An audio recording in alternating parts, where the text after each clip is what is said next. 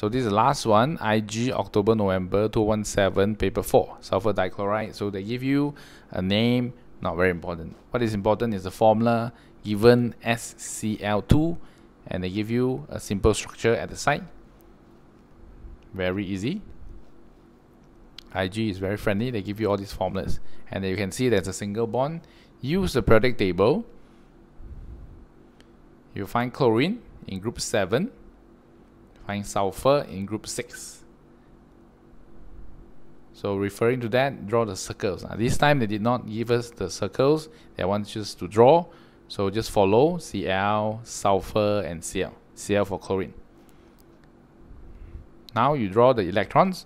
Just follow 7 so 7 electrons. Put it in. Single bond 1 2 3 4 5 6 7 then you have chlorine again 7 single bond. So put one electron in between them as single bond. Sulfur 6 so just fill in.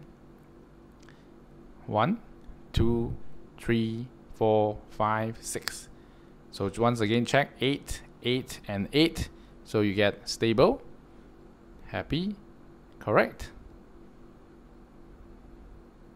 So this would be 3 marks. Well done